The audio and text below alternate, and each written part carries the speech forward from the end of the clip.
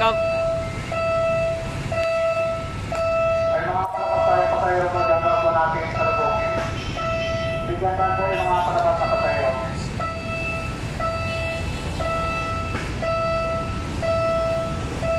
Yummy 6.